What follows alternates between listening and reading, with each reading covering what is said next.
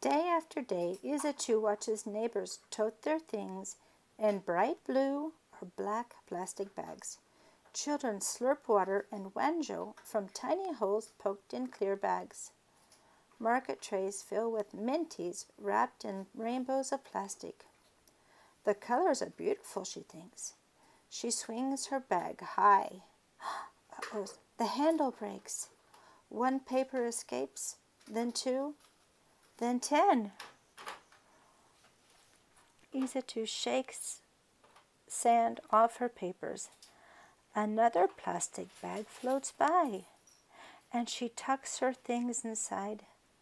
The torn bag is useless now. She drops it into the dirt, as everyone does. There's nowhere else to put it.